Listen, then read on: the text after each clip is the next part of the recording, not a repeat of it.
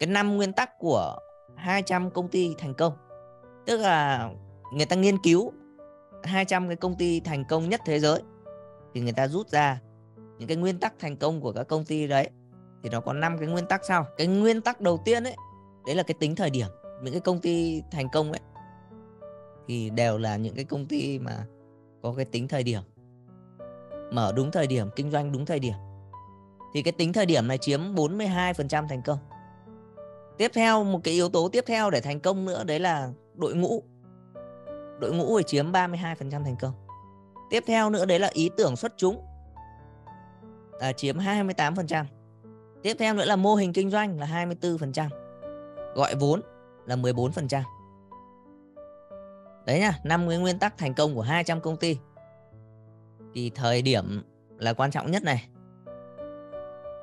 sau đấy thì à, đến đội ngũ này, sau đấy mới đến ý tưởng nhá. Cho nên cái việc mà chúng ta có một cái ý tưởng tuyệt vời ấy, thì nó cũng nó cũng bình thường thôi. Nhiều bạn cứ nghĩ là mình có ý tưởng là nó là to tát lắm, nhưng không phải đâu. Cái tính thời điểm. Ví dụ này. Uber các bạn. Uber, các bạn đều biết Uber đúng không? Uber là một cái dịch vụ mà đặt xe qua qua app nó giống như Grab. Trước đây thì à, cũng mạnh ở Việt Nam, nhưng mà sau đó thì nó đánh nhau với Grab thì nó nhường lại thị phần cho Grab và nó được ăn chia một một phần lợi nhuận với Grab.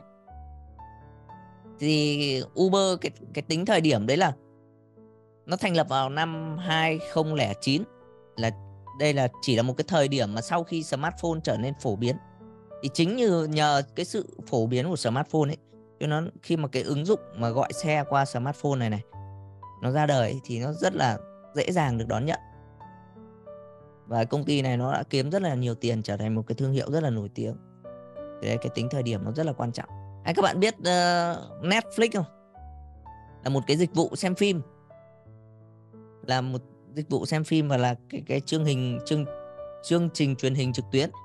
Thì thành lập vào năm 1997 cái thời điểm này họ thành lập ấy thì đúng là cái thời điểm mà khi mà internet đang phát triển nhanh chóng và tốc độ kết nối internet gia tăng. Đấy, cho nên là Netflix là cũng được hưởng lợi rất là nhiều ở cái thời điểm này. Hay ví dụ Tesla, Tesla các bạn đều nghe đúng không? Thành lập vào năm 2003. Khi mà các nguồn năng lượng năng năng lượng sạch và môi trường nhận được cái sự quan tâm hơn thì cái công ty này nó ra đời. Thì đúng là cái thời điểm mà thị trường đang quan tâm đến năng lượng sạch, đang quan tâm đến ờ, đến đến ờ, thế giới đang tâm, đang quan tâm đến ờ, bầu khí quyển. Ấy, thì công ty này nó cũng thu được rất là nhiều cái thành công. Trở thành số 1 luôn. Hay Vietjet Air. Các bạn đều biết Vietjet, đều đi Vietjet đúng không? Thì Vietjet là nó định vị vào cái phân khúc giá rẻ và thành lập vào năm 2007 thì đây đúng là vào cái thời điểm mà kinh tế Việt Nam bắt đầu tăng trưởng mạnh và cái nhu cầu đi lại ngày càng tăng. Thì ra đời đúng cái thời điểm này nên là rất là hợp lý. Các bạn biết FPT không? Ừ, FPT cũng thành lập vào năm ờ, uh, 1988 đây là thời kỳ mà Việt Nam bắt đầu mở cửa kinh tế hội nhập. Thì FPT đầu tư vào công nghệ đầu tư vào những cái nền tảng công nghệ hiện đại phần mềm dịch vụ số trí tuệ nhân tạo Đấy, cho nên là họ đã tận dụng được đúng cái đúng cái thời điểm mở cửa này họ làm thì là họ cũng phát triển ngay. thì tóm lại là thời điểm là rất là quan trọng. Đấy, ví dụ như những cái mô hình nhỏ hơn ví dụ như là như Đức vừa chia sẻ với các bạn ấy làm bất động sản hoặc là làm TikTok làm Shopee vào đúng cái thời điểm mà nền tảng nó ủng hộ thì chúng ta sẽ kiếm được rất là nhiều tiền. Cái thời điểm bất động sản nó ngon nhé là cái đội mà 99 2000 2002 vào vẫn kiếm được tiền bình thường. Mặc dù là trước đấy chả có kinh nghiệm thì chả có kỹ năng gì chả có tiền luôn vào vẫn kiếm một hai ba tỷ một năm bình thường thế thời điểm thị trường nó tốt ấy. thì đấy thời điểm là là rất là quan trọng ở cái yếu tố về về đội ngũ ấy. câu chuyện về đội ngũ thì này các bạn đều nghe đến thế giới di động đúng không thế giới di động thì có anh tài thì ông là đỉnh cao rồi ông ấy từ cái lúc còn trẻ người ta đã nhắc về anh tài là một người là có tâm có đức rồi khi mà các lãnh đạo ở thế giới di động ấy được phỏng vấn ấy là tại sao lại làm cùng anh tài ấy, thì người ta người ta nói là từ lúc mà anh Tài còn trẻ là người ta đã nghe thấy, đã đã nhận thấy, đã nhìn thấy là anh Tài là người có tâm có đức rồi. Sau đó thì mấy ông mới lại ngồi lại họp với nhau. Thì sau đấy, ở trong cái cái hội đồng quản trị trong trong cái ờ, cái đội mà cổ đông ban đầu với nhau ấy, thì có bốn ông. Thì các ông họp với nhau, các ông mới chia ra là bây giờ mỗi ông ấy sẽ đi học ở ở một nơi. Tức là chọn những cái tập đoàn lớn ví dụ như ông tài thì ngày xưa ông là làm uh, Apple này. Đấy sau đó thì có ông ờ, sang ờ, Vinaphone này. Đấy còn mấy ông khác nữa mỗi ông đi một nơi. Để tóm lại là học xem là những cái đơn vị lớn ấy, nó làm như nào. Và hẹn nhau là 4 năm sau. 4 năm sau thì ngồi lại với nhau để mở một cái mô hình về kinh doanh điện thoại. Thì đều là những cái con người mà xuất chúng hợp lại với nhau. Đều là những con người mà uh, có những cái kỹ năng, có những cái khả năng chuyên môn rất là tốt ở những cái công ty, những cái tập đoàn khác ngồi lại làm với nhau thì nó mới tạo ra một cái thế giới di động như bây giờ. Thì đấy, cái yếu tố đội ngũ rất là quan trọng. Mình, anh tài thì sẽ không thể làm được. Đấy, nhưng mà cùng đội ngũ nữa thì sẽ làm được. Thế ví dụ các bạn ở đây đều nghe thấy những câu chuyện ờ, ví dụ như tam quốc chẳng hạn.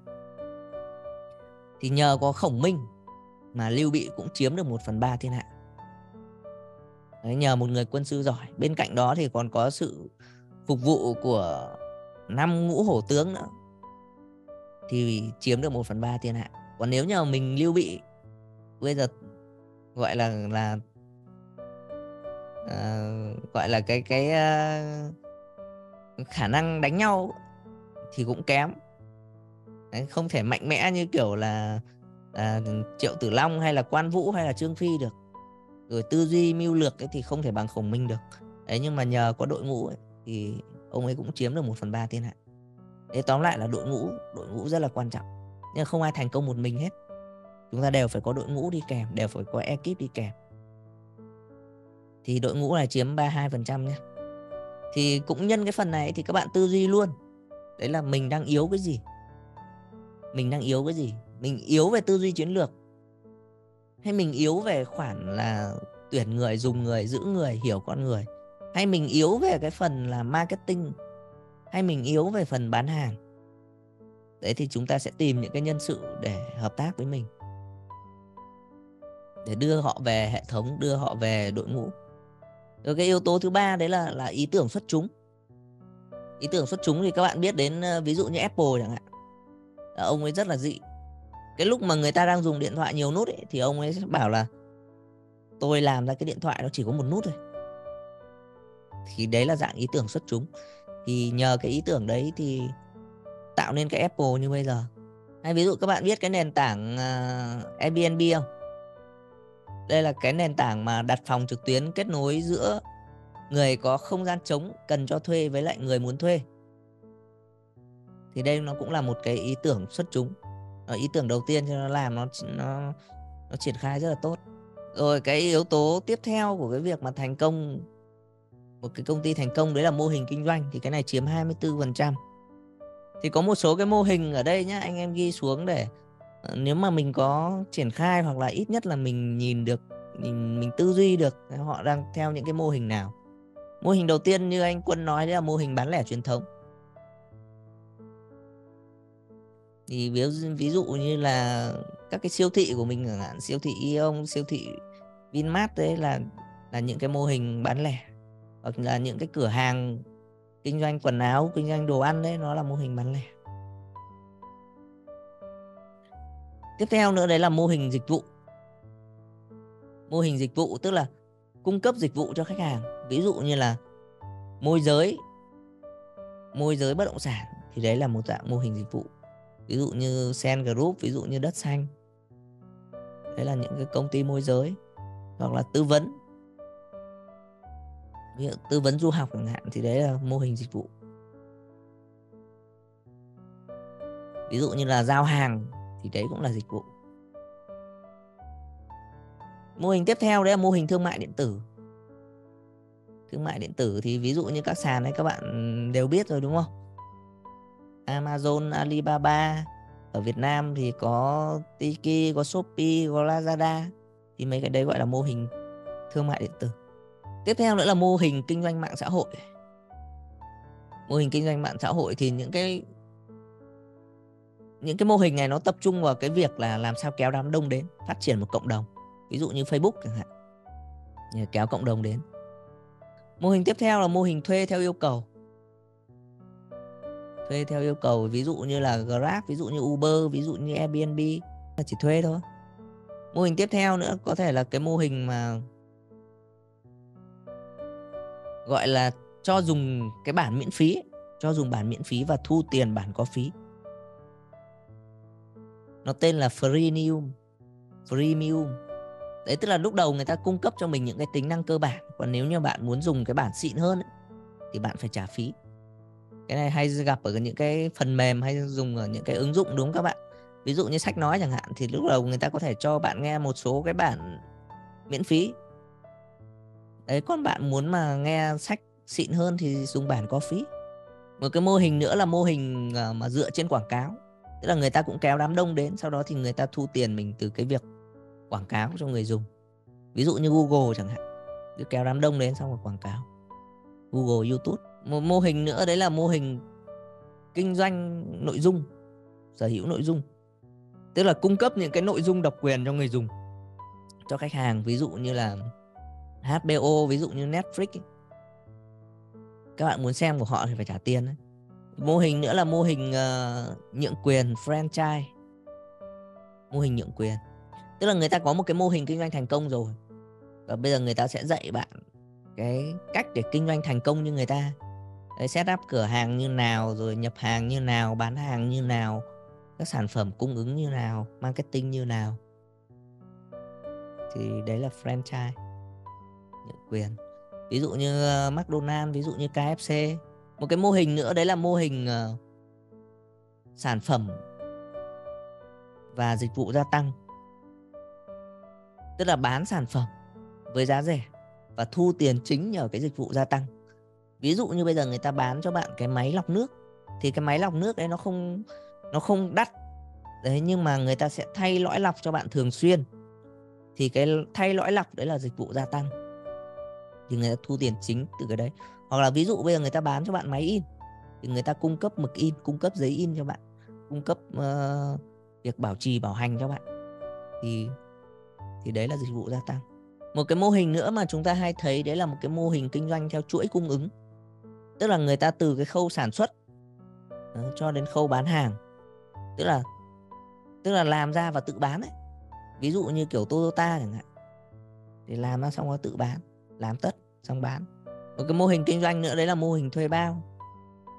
Thuê bao trả trước thuê bao trả sau. Ví dụ như là các công ty viễn thông của mình ấy. Viettel, Vinaphone.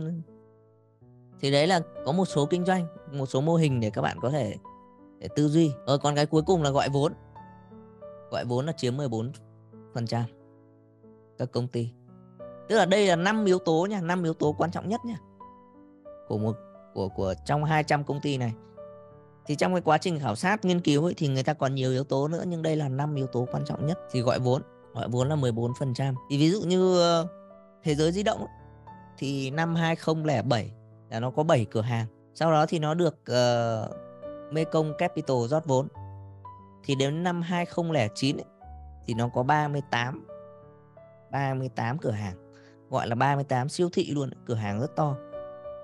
Khi đến cuối 2010 là số lượng siêu thị nó tăng lên thành 82 cái. Nếu như mà chúng ta hiểu ấy, là nếu như mà chỉ dùng tiền của mình ấy, mà mình tự kinh doanh thì nó đi nó rất là chậm nó lẹt đẹt. Đấy, nhưng mà bây giờ có một anh lớn vào anh ấy góp vốn vào thì nó sẽ nhân rất là nhanh. Những cái sai lầm ở đây là chúng ta thường làm một mình, chúng ta nghĩ là làm tất ăn cả. Nhưng không tận dụng được những cái nguồn lực xung quanh. Cảm ơn các bạn đã luôn theo dõi và ủng hộ Master Anh Đức. Để không bỏ lỡ những nội dung mới, các bạn hãy bấm vào nút đăng ký hình tròn ở giữa màn hình hoặc có thể xem video tiếp theo ở phía bên tay trái hoặc bên tay phải. Xin chào và hẹn gặp lại các bạn.